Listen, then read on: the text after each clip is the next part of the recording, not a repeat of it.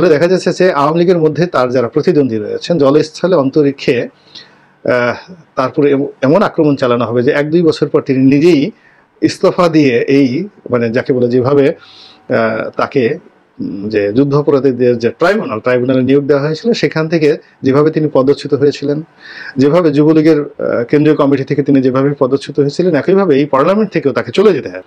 হবিগঞ্জের যে আসন থেকে তিনি একজন সাবেক সংসদ সদস্য এবং প্রতিমন্ত্রী, তাকে পরাজিত করে যে বিপুল ভোটে জয়লাভ করেছেন, এটি বাংলাদেশের ইতিহাসে বিস্ময়কর। তাকে অ্যাভয়েড করার বা তার কন্টেন্টগুলো অস্বীকার করার কোনো উপায় থাকে না। এবং তার সেই জনপ্রিয়তাকে কেন্দ্র করে তিনি তার যে আইন পেশা, সেই আইন পেশাটাকে তিনি বেশ শানিত করেছেন। তিনি স্বচ্ছ পরিমাণ হলো সাড়ে নয় লাখ টাকার মতো। এবং উনি চ্যালেঞ্জ করে বলেছেন পাঁচ বছর পরে আপনারা দেখে রাখবেন লিখে নেন আপনারা এরকম বলেছেন যে পাঁচ বছর পরে আমার সম্পদ এই সাড়ে নয় লাখ টাকা থেকে বেড়ে বড় জোর পনেরো লাখ টাকা হবে। এর চেয়ে বেশি হবে না। এবং যে কথাটা উনি ফিনিশিং বলেছেন সেটা হলো যে ভাই সম্পদ অর্জন করতে আমি এমপি হতে আসিনি। আমি মানুষের পার্লামেন্টারি কু হয় যেভাবে পাকিস্তানে হয়েছে। ইমরান খানের বিরুদ্ধে। তো সেই ধরনের পার্লামেন্টারি যদি কু হয়, তাহলে বর্তমানে যারা সংসদ সদস্য রয়েছেন, তাদের মধ্য থেকে কে বা কারা এই প্রধানমন্ত্রী পদে মনোনীত হওয়ার ক্ষেত্রে যোগ্যতম? দৌড়ে এগিয়ে আছেন অনেকের পছন্দের। এই বিষয়গুলো নিয়ে আসলে খোলামেলা আলোচনার প্রয়োজন আছে। আসসালামু আলাইকুম রহমতুল্লাহি ওবরকাতুহ সম্মানিত দর্শক বাংলাদেশের প্রেক্ষাপটে আজকের যে প্রসঙ্গটা নিয়ে আলোচনা করছি, এটি খুবই একটি ব্যতিক্রমধর্মী আলোচনা। কিন্তু নিঃসন্দেহে তাৎপর্যপূর্ণ এবং গুরুত্বপূর্ণ। আলোচনা শুনলেই বুঝতে পারবেন। আমাদের বর্তমান প্রধানমন্ত্রী তার অবর্তমানে যদি এই চলমান সংসদ থেকে প্রধানমন্ত্রী হওয়ার আগ্রহ প্রকাশ করা হয়, তাহলে কারা কারা সেই আগ্রহ প্রকাশ করবেন? কিংবা আওয়ামী লীগের মধ্য থেকে যদি সুযোগ হয় বিকল্পভাবে কাউকে মনোনয়ন দেওয়ার, সেক্ষেত্রে কি হতে পারে? অথবা ধরুন, যদি এই দামি নির্বাচন নিয়ে দেশ বিদেশে নানা রকম জটিলতা, নানা রকম বদনামি, দুর্নামি, এগুলো থাকা সত্ত্বেও বেশ কয়েকটি জায়গাতে একেবারে সুষ্ঠু নির্বাচন হয়েছে। এবং এই নির্বাচনে তুমুল প্রতিযোগিতার মাধ্যমে সারা দেশবাসীকে আশ্চর্য করে যারা সংসদ সদস্য নির্বাচিত হয়েছেন। তাদের মধ্যে এক নম্বর প্রধানতম ব্যক্তি হলেন তো ব্যারিস্টার সুমন, বয়সে তরুণ, আওয়ামী লীগ করতেন বা ছাত্রলীগ করতেন। তিনি আলোচনায় আসেন মূলত ফেসবুকের কল্যাণে। হবিগঞ্জের যে আসন থেকে তিনি একজন সাবেক সংসদ সদস্য এবং প্রতিমন্ত্রী, তাকে পরাজিত করে যে বিপুল ভোটে জয়লাভ করেছেন, এটি বাংলাদেশের ইতিহাসে বিস্ময়কর। অভিনব জনপ্রিয়তা তার রয়েছে। অভিনব বললাম এই কারণে যে এ মানের কোনো সেলিব্রিটি ফেসবুক সেলিব্রিটি, সোশ্যাল মিডিয়াতে সেলিব্রিটি, তারা জাতীয় নির্বাচনে জনগণের ভোট পেতে পারে, এই ধারণাটাই মানুষ কল্পনা করতে পারেনি কেউ। ফেসবুকে কেউ লাইভ করছে পোস্ট দিচ্ছে ইউটিউবিং করছে সাধারণত আমাদের দেশে যারা মূলধারা সাংবাদিক, তারপর অন্যান্য যারা রয়েছেন, তারা সবসময় এদেরকে ঠাট্টা এবং মস্কারা করতেন যে, এদের আর খেয়ে কোনো কাজ নেই, এই কাজ করছে। তো সেই ফেসবুকে কেন্দ্র করে জনাব সুমন, সারা দেশে যে নিজের যে পরিচিতি এবং ব্যাপ্তি তিনি ঘটিয়েছেন, তার সঙ্গে সঙ্গে তিনি যথেষ্ট যোগ্যতা অর্জন করেছেন। এবং তাকে নিয়ে প্রচুর ট্রল হয়েছে, অনেক নেতিবাচক গালাগাল দেওয়া হয়েছে, কিন্তু তিনি থেমে থাকেননি। তিনি তার কাঙ্ক্ষিত মাকামে তিনি এগিয়ে গেছেন এবং তার সবচেয়ে বড় সফলতা হলো জনগুরুত্বপূর্ণ বিষয় এবং জনপ্রিয় বিষয়। এই দুটো তিনি বুঝতে পারেন। কোনটি জনগুরুত্বপূর্ণ এবং জনপ্রিয়? একই সঙ্গে। অর্থাৎ ফেসবুকে এমন একটা বিষয় তিনি আনলেন, তুলে ধরলেন যেটি যথেষ্ট জনপ্রিয়তা পায় এবং একই সঙ্গে জনগুরুত্বপূর্ণ। ফলে তাকে অ্যাভয়েড করার বা তার কন্টেন্টগুলো অস্বীকার করার কোনো উপায় থাকে না।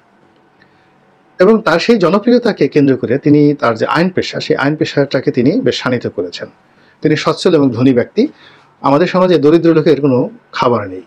আপনি যত জ্ঞানী হন কেন, না কেন, পণ্ডিত হন না কেন আপনার যদি টাকা পয়সা না থাকে, কেউ আপনাকে জিজ্ঞাসা করবে না। তো সেই দিক থেকে সুমন সাহেবের যে জনপ্রিয়তা এবং তার যে নেম অ্যান্ড ফেম এগুলোকে ম্যাটারাইজ করার জন্য যে অর্থ দরকার, খুব বেশি দরকার নয়, যতটুকু দরকার, ভালো একটা গাড়ি, সুন্দর একটা বাড়ি, সুন্দর একটা অফিস এবং নেতাকর্মীদের জন্য, দেশ জাতির জন্য কিছু খরচ করা, এর জন্য যে টাকা দরকার সেটা তার আছে। ফলে তিনি ত্রিমাত্রিক হয়ে ঘটাঘট, ফটাফট করে তিনি এগিয়ে গিয়েছেন। পার্লামেন্টের ওয়াইদুল কাদের সাহেবের মতো নন। কিংবা ধরুন অন্য যারা খুব অনুগত রাজনৈতিক নেতৃত্ব রয়েছেন আওয়ামী লীগের, তাদের মতো নন। আবার আওয়ামী লীগের যে সকল লোক স্বতন্ত্র হিসেবে নির্বাচিত হয়ে এসছেন, শয়নের স্বপ্নে আওয়ামী লীগেরই স্বপ্ন দেখেন তাদের মতো নন। তাদের মধ্যে একটা বারুদ আছে। তাদের মধ্যে একটা স্প্রেড আছে, তাদের মধ্যে একটা কৌশল আছে। এবং দেয়ার প্লেয়ার গুড প্লেয়ার তারা ভালো খেলতে জানেন। এবং তারা এই সংসদ সদস্য হয়ে চুপচাপ যে বসে আছেন I do not think so তারা বসে নেই। তারা তাদের মতো করে কল্পনা করছেন, চেষ্টা করছেন। সুমন, আগামীতে আওয়ামী লীগের মনোনয়ন চাইবেন, পাবেন। এটি সুয়ের ছিদ্র দিয়ে উট ঢোকার যে সম্ভাবনা, তার চেয়েও কম সম্ভাবনা। কাজেই সুমনকে এভাবে স্বতন্ত্র, অথবা নতুন একটা দল করতে হবে, অথবা বিকল্পভাবে এই যে সে যে সময়টা, এই গোল্ডেন এরাটা তাকে কাজে লাগাতে হবে। এবং এই সময়টাকে তিনি যদি কাজে না লাগাতে পারেন, তাহলে দেখা যাচ্ছে যে আওয়ামী লীগের মধ্যে তার যারা প্রতিদ্বন্দ্বী রয়েছেন জলস্থলে অন্তরিক্ষে তারপরে এমন আক্রমণ চালানো হবে যে এক দুই বছর পর তিনি নিজেই ইস্তফা দিয়ে এই মানে যাকে বলে যেভাবে তাকে যে যুদ্ধ অপরাধীদের যে ট্রাইব্যুনাল, ট্রাইব্যুনালে নিয়োগ দেওয়া হয়েছিল, সেখান থেকে যেভাবে তিনি পদচ্যুত হয়েছিলেন, যেভাবে যুবলীগের কেন্দ্রীয় কমিটি থেকে তিনি যেভাবে পদচ্যুত হয়েছিলেন, একইভাবে এই পার্লামেন্ট থেকেও তাকে চলে যেতে হবে। এটা সুমন জানেন। এবং সুমন জানেন যে পার্লামেন্টে যদি তাকে থাকতে হয়, তাকে যে পরিমাণ দালালি করতে হবে, যদি সেটা করতে হয়, তাহলে তার আইন, পেশা, অর্থ এবং সবকিছু ঝুঁকির মধ্যে পড়বে। আর রাজনীতিতে আওয়ামী লীগের যে ভবিষ্যৎ, এটা আরও বেশি ঝুঁকির মধ্যে। ফলে দুইয়ের মধ্যে তাকে জনপ্রিয়তা এবং প্রচার প্রপাগান্ডা এবং ফেসবুক পেশা এটি নিয়ে তাকে বেঁচে থাকতে হচ্ছে। এবং সেখানে সালাম মুর্শিদের বিরুদ্ধে অবস্থান গ্রহণ করা দলীয় সংসদ সদস্য, আওয়ামী লীগ দলীয় সংসদ সদস্য, বসুন্ধরার বিরুদ্ধে বক্তব্য দেওয়া, আবার সাবেক আইজি বেনজির বিরুদ্ধে দুদুকে নালিশ করা, এইগুলো সবই তার চ্যালেঞ্জিং। এবং অতি সম্প্রতি আমরা যেটা দেখলাম সেটা হলো তিনি যে শৈলকুপাতে একটা নির্বাচন হতে যাচ্ছে, সেখানে তার অত্যন্ত ঘনিষ্ঠ একজন লোককে আওয়ামী লীগের মনোনয়ন পাওয়ার ব্যাপারে তিনি তদবির করছেন এবং আমি শিওর আওয়ামী লীগের মনোনয়ন সে পাবে না এবং ব্যারিস্টার সুমন তাকে স্বতন্ত্র দাঁড় করিয়ে সেখানে সে প্রোপাগান্ডা চালাবে। এভাবে তার যারা সহযোগী আছে, সমমনা আছে, তাদেরকে কেন্দ্র করে সে যদি সারা বাংলাদেশে ইনিশিয়াল স্টেজে এই আগামী পাঁচ বছরে দশ পনেরোটা সে সংসদ সদস্য ম্যানেজ করে ফেলতে পারে। এটা বিকজ অনেক বয়স্ক লোক আছে, এমনি প্রকৃতির কারণে মরে যাবে অনেকে। তো সেই উপনির্বাচনে গিয়ে যদি সে সেখান থেকে পাশ করে আসতে পারে, তাহলে একটা বিপ্লব শুরু হবে, যেটা কিনা তার যে বয়স সেখানে ইমরান খানের পরিণতি সে ভোগ করতে পারে বা সফলতা ভোগ করতে পারে, অথবা আম আদমি পার্টির যে কেজরিওয়াল সেই ভূমিকা পালন করতে পারে এবং তিনি যখন এরকম ভালো কিছু করবেন, তার সঙ্গে রাজপথ অন্য যারা যুবক আছেন, ভিপি নূর আছেন, জুনায়েদ সাকি আছেন, তারা হয়তো তার সঙ্গে একত্র হয়ে যাবে, একটা কোলাবোরেশন হয়ে যাবে রাজনৈতিক। আবার অন্যদিকে যেটা, যদি কোনো কারণে এখন আমরা দেশি চক্রান্তের কথা শুনছি, বিদেশি চক্রান্তের কথা শুনছি, ভারতের কথা শুনছি, ভারত ক্ষমতাটা পরিবর্তন করাতে চাচ্ছে পার্লামেন্টারি কু হতে পারে আরও অনেক কিছু হতে পারে পার্লামেন্টের মধ্যে শেখ হাসিনার অবর্তমানে কারা হবেন, তখন সেক্ষেত্রে দেখা যাচ্ছে যে দেশি বিদেশি যারা চক্র আছেন তাদের যদি এই উইদিন দিস পার্লামেন্টের মধ্যে যদি একটা নেগোসিয়েশন করতে হয় উইদাউট বিএনপি একটা কু করতে হয়, তাদের তো যোগ্য লোক লাগবে, জনপ্রিয় লোক লাগবে, এবং সেই যোগ্য এবং জনপ্রিয় লোকের মধ্যে আমি এই দুজনের চেয়ে যোগ্যতম এবং জনপ্রিয় লোক দেখছি না। তো কাজেই রাজনীতির যে অঙ্গনে একটা বিকল্প শক্তি বা তৃতীয় ধারা সৃষ্টি করার ক্ষেত্রে দুজন একটা গুরুত্বপূর্ণ ভূমিকা পালন করতে পারে। আর যদি কখনো কোনো পরিস্থিতি সৃষ্টি হয়, কোন বনেগা প্রাইম মিনিস্টার? কোন বনেগা প্রধানমন্ত্রী? কোন বনেগা উজিরে আজম? এরকম যদি একটি অবস্থা সৃষ্টি হয় এবং সেক্ষেত্রে যদি যারা কর্তৃপক্ষ তখন হবেন, কর্তা ব্যক্তি হবেন, তাদের যদি পছন্দের কোনো অপশন থাকে, সেক্ষেত্রে এই দুই ব্যক্তি পছন্দের শীর্ষে রয়েছেন এই দামি সংসদে। এতে কোনো সন্দেহ নাই। এটা জাস্ট একটা বিশ্লেষণ। কারোর সাথে আলোচনা নয়, কাউকে প্রভোগ করা নয়, কাউকে উৎসাহিত করা নয়, কারোর পক্ষে তেল মেলে দালালি করা নয়। এটাই হলো আমার দৃষ্টিতে বাস্তব। ওনার আর কোনো প্রপার্টি নেই বলে উনি নির্বাচনের আগে আগে দাবি করেছেন। এবং সে সময় উনি বলেছেন, ওনার সম্পদ বলতে যা আছে, তার পরিমাণ হলো সাড়ে নয় লাখ টাকার মতো। এবং উনি চ্যালেঞ্জ করে বলেছেন, পাঁচ বছর পরে আপনারা দেখে রাখবেন, লিখে নেন আপনারা। এরকম বলেছেন যে, পাঁচ বছর পরে আমার সম্পদ এই সাড়ে নয় লাখ টাকা থেকে বেড়ে বড় জোর পনেরো লাখ টাকা হবে। এর চেয়ে বেশি হবে না। এবং যে কথাটা উনি ফিনিশিং বলেছেন, সেটা হলো যে, ভাই, সম্পদ অর্জন করতে আমি এমপি হতে আসিনি। আমি মানুষের সেবা করার মানসিকতা নিয়ে এমপি হতে এসেছি। আপনি বাংলাদেশের যে কোনো এমপিকে জিজ্ঞাসা করেন, ভাই, আপনি যে এমপি হয়েছেন, আপনার লক্ষ্যটা কী? সবাই বলবে, সম্পদ অর্জন করার জন্য আমি আসিনি। আমি মানুষের সেবা করার জন্য এসেছি। সুমন সাহেব যা বলছেন, ওনারাও তাই বলেন, কিন্তু আসলে কি তাই হয়? পাঁচ বছরের ব্যবধানে আমরা যখন নির্বাচনের সময় সম্পদ, যার যার সম্পদের হলফনামা দেওয়ার কথা বলা হলো, আমরা কিন্তু সেখানে দেখেছি যে পাঁচ বছরের ব্যবধানে একজন এমপি, সিরাজগঞ্জের একজন এমপি, জান্নাতার হেনরি তার সম্পদ বেড়েছে চারশো সাতানব্বই গুণ। একটা একটা নাম বললাম, নাম বলে এরকম অনেক বলা যাবে। চারশো সাতানব্বই গুণ শতাংশ নয় কিন্তু, চারশো সাতানব্বই পার্সেন্ট না, চারশো সাতানব্বই গুণ সম্পদ তার বেড়েছে। দুদক থেকে এগুলো প্রশ্ন করেছে? আওয়ামী লীগ থেকে আবার নমিনেশন দিয়েছি। উনি আবার জিতেছেন। এরপর পাঁচ বছর পর ওনার কী দেখা যাবে? আল্লাহ জানে একমাত্র। ওনার সম্পদ রাখার মতো জায়গা বাংলাদেশে থাকবে কি না আমি জানি না। উনি এত সম্পদের মালিক হয়ে যাচ্ছেন। তো ওনাকে যে জিজ্ঞাসা করেন, উনি বলবেন, না, আমি তো কিছু করতে আসিনি, আমি জাস্ট জনসেবা করার জন্য আসছি। সবাইকে তাই করে। সম্পদের, কি পরিমাণ সম্পদ আপনার আছে? নির্বাচনের আগে সেটা হলফনামায় উল্লেখ করতে হয়। এটা নিয়ম। এবং যদি কেউ হলফনামায় ভুল তথ্য দেয়, নির্বাচন কমিশন সেটাকে বাতিল করতে পারে। কেবল তাই নয় হলফনামায় সম্পদের ভুল বিবরণ যদি কেউ দেয়, নির্বাচিত হওয়ার পরও সেটাকে বাতিল করা হতে পারে। বাতিল করা যেতে পারে, বাতিল করার নিয়ম আছে। আচ্ছা আমাদের সাবেক ভূমিমন্ত্রী সাইফুজ্জামান চৌধুরী যাবেন। তার বিদেশে কত সম্পত্তি আছে? কত সম্পত্তি ছিল? নির্বাচনের আগে আগে, ডিসেম্বরের শেষ সপ্তাহে, সাতাশ তারিখের দিকে টিআইবি একটা রিপোর্ট পেশ করেছিল। এবং সেখানে তারা দেখিয়েছিল, বিদেশে মানে ইংল্যান্ড বিদেশে সাইফুর সাইফুজ্জামান চৌধুরীর দু হাজার তিনশো বারো কোটি টাকার ব্যবসা আছে। মানে এটা ওনার সম্পদ। কিন্তু এটা উনি ওনার নির্বাচনী হলফনামায় প্রকাশ করেননি।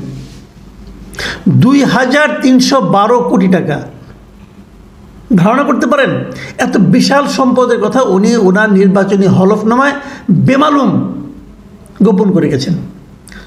পরে তিন মাস পরে, মার্চের প্রথম সপ্তাহে, মার্চের দুই তারিখে একটা প্রেস কনফারেন্সে সাংবাদিকরা ওনাকে আবার সেই কথাটা জিজ্ঞাসা করেছিল। ততদিনে তিনি কিন্তু এমপি হয়ে গেছেন। তাকে জিজ্ঞাসা করেছিল, আপনি এটা কেমন আপনি এই সম্পদ আছে কি না উনি কিন্তু অস্বীকার করেননি। উনি বলেছেন হ্যাঁ আমার সম্পদ আছে। বিদেশে আছে, আমার বাবা করেছে না, কী করেছে, এগুলি অনেক কথা বলে। আমি দেশ থেকে এটা পাচার করিনি, আমার সম্পদ আছে। আচ্ছা উনি পাচার করেননি বাট এটি কোনো সম্পদ নয়। ওনার তো সম্পদ ছিল ওটা যেমন এখানে আমরা দেখলাম যে বেশার সুমন সাহেব বললেন, বিদেশে ওনার কোনো সম্পদ নেই। উনি দাবি করলেন কিন্তু ওনার নামে নেই, ওনার স্ত্রীর নামে নেই, বললেন উনি। কিন্তু আমাদের সাইফুজ্জামান সাহেব, যিনি একটা মন্ত্রীও ছিলেন একজন, তিনি বলেন ওই সম্পদ তার বাবা করেছে। ঠিক আছে, করেছে বাবা, মানলাম। তো এখন তো উনি ওটার মালিক। উনি সম্পদের কথা ওনার হলফনামা ঘোষণা করবেন না? উনি করেননি। এবং উনি কী বলেছেন? উনি একটা ব্যাখ্যা দিয়েছেন যে এই হলফনামা পুরোপুরি বাংলাদেশের আয়কর রিটার্নের উপর ভিত্তি করে দেওয়া হয়। এই যে এটা যে বাংলাদেশের আয়কর রিটার্নের উপর ভিত্তি করে দেওয়া হয় হলফনামাটা, এই তথ্যটা উনি কোথায় পেলেন? আমি কিন্তু কোথাও পাইনি। আপনার সম্পদের বিবরণ দিতে বলা হয়েছে। দেশে কতটুকু, বিদেশে কতটুকু, স্থাবর কতটুকু, অস্থাবর কতটুকু, আপনি ব্যাখ্যা করে করে দেবেন? আয়করের এটা কি বলা হয়েছে? যে আয়করের ভিত্তিতে আপনার সম্পদের পরিমাণ কত? বলুন। তো তো বলেনি রে ভাই। তো আইনের মানুষ আপনারা এর ভুল ভুল না, এটা ইচ্ছা করে আপনি গোপন করেছেন। তো এই জিনিস যখন পরে জানা গেল, পরে যখন উনি স্বীকার করলেন তখনই কি নির্বাচন কমিশন অথবা অন্য কেউ কোনো ব্যবস্থা নিয়েছেন? নেয়নি। এর মধ্যে আজকে যে আলোচনাটা, যে সুমন সাহেবের যে ব্যাখ্যাটা আমার কাছে এই ব্যাখ্যাটা পছন্দ হয়েছে। পছন্দ হয়েছে এই কারণে যে আমরা এখন বসে বসে হিসাব করতে পারব কিন্তু, আমরা খাতা কলমে লিখে রাখতে পারব যে সুমন সাহেবের সাড়ে নয় কোটি টাকা পাঁচ বছর পরে বেড়ে কত হয়। আমি তো হিসাব করবোই। যদি পাঁচ বছর বেঁচে থাকি ইনশাল্লাহ তখন আমি এটা দেখব চেক করব, সুমন সাহেবকে জিজ্ঞাসা করব। কিন্তু অন্য অন্য সকল মন্ত্রীর, সকল এমপির, এই যে সম্পদের হিসাব যেটা ওনারা নাকি হলফনামায় উল্লেখ করেছেন সেটা যখন বেড়ে যায়, ওনারা কি কেউ ব্যাখ্যা করেন যে কীভাবে, কি প্রক্রিয়ায় তাদের সম্পদ বাড়ল? পার্থক্যটা কি যার আবার কই, সালাম আলাইকুম জি এম সাহেব, কিছু যদি ফারইন খারেন খান দিওইন আপনার তো বিরাট অসুবিধা না না দিক দেখুন লাগে। হ্যাঁ আপনি দেখছেন নি? আর আমার ফোন হইল, আমি পাইছাব আপনি যদি কইন জি এম সাহেব আমি যদি প্রাইম মিনিস্টার এখানে যাওয়ার লাগে, আমি যাইমো। তারপরে যদি বিদ্যুৎ না দেন, আমি কিন্তু খামড়াই লিমু। খামড়ান মানে কিনা দাঁত দেয় না কিন্তু। ফেসবুক বার হইয়া যে বাইচপ এ বিদ্যুৎ খাইতেছে ঘুষ। যেখানে যেখানে ঘুষ খাইতেছে, ইগান ইনফরমেশন বার করে দিলাম আমার কথা হইলে আমিও পাইলাম না, বিহাইও পাইলাম না। আমি এমপি যত দিন আছি মাধবপুরে সোনারঘাটে আট টকানি যাইতো না। যাইবনি মনে করো? আর আমার লেগে দোয়া করি আমি কথা দিছি দুইটা। যতদিন এমপি আছি, কোনো সম্পদ বানাইতাম না। তোমরা আবার ভাববো না যে পাঁচ বছর পরে যদি আমি আবার এমপি হইতাম চাইতে, সম্পদের হিসাব দিতাম না? মাহবুব ভাইয়ের মতো এরকম আটচল্লিশ গুণ সম্পদ আমার বাড়তো না। আর আমার বউ মাহবুব ভাইয়ের বউর তো ছাব্বিশ গুণ বাড়ছিল, নগদ উগদ টাকা সহ। আর আমার বউরে কইছি, যদি তোমার সম্পদ বাড়ে, তা আমার সাথে তোমার ফ্রেম কমব। কিতা কমব? আর এমনও হইতে পারে, বেশি সম্পদ বানাইলে সারা নই যেতে পারে। কারণ উন্নয়ন আমার ভাব, আমার পরিবারের ভাবের কারণে যদি আমারে ধরে আল্লাহ আমার হিসাব নিবা, আমার বউ বাঁচাইব নি সময়। উন্নয়ন মানুষ, তার ছেলে মেয়ের লাগিয়া পাপ কইরা সম্পদ বানায়, পরে সম্পদ জায়গা ছেলে মেয়ের লাগিয়া, আর পাপ কান যায় বাপের লাগি। খবর কি তারা যাইবানি না আমি যাইতাম হইব। হিসাব আমি দিবনি না আমার ভোলা বউয়ে দিবা। আমি নাই ইবেন্দার মায়ের, আমি খাইতে পারতাম না। আমি আমারটা বুঝিয়া সুতরাং আপনারা এতখান গর্ব করতে পারবা। আপনার এমপি যতদিন এমপি আছে, সম্পদ বানাইতো না। আর যে ইনকাম আমার ব্যারিস্টার হিসাবে উনকা ডাবলের ডাবল ইনকাম এমপি হিসাবে হাইকোর্টও কারণ আমি নয়া এমপি যে মানুষে মনে করতেছে রে, দিলই জামিন হইব রে। আগে যে বেটা দিত পঞ্চাশ উনকা দেয় দেড় লাখ। আর এই টাকা লাইন লই আমি বাগাসুরা যৎখান বাড়ি খের সরকারের টেকা আর আমার টেকা সব মিলাই দিছি। আমার কত হইলে, গরিব মানুষের রাখিয়া ফারি না তো। দেখেন আমার বয়স চৌচল্লিশ। কত? হিসাব মতো যদি স্বাভাবিক হিসাব করেন, তাইলে আর পনেরো বিশটা তো কুরবানিত ফাইবার কথা না। ষোলোটা? মানে হিসাবে ষোলোটা